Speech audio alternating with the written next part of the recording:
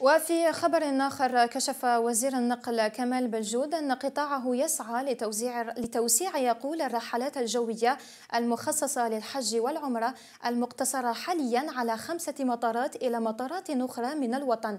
وقال بلجود أن المطارات المعنية برحلات الحج والعمرة تحدد خلال مجلس وزاري مشترك مخصص لهذا الشأن. مذكرا أنه تم إلى حد الآن تعيين خمسة مطارات لاستقبال هذه العملية هي مطارات الجزائر العاصمة وهران قسنطينة عنابة وورقلة.